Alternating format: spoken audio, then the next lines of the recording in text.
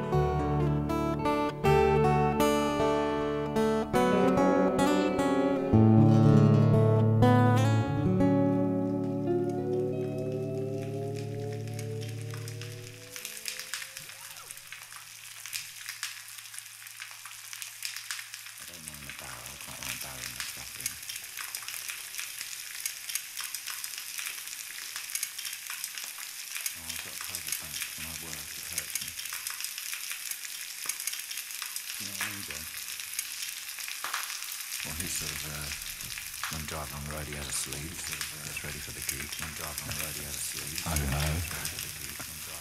Um, he does all the electrical stuff, I can't follow that, so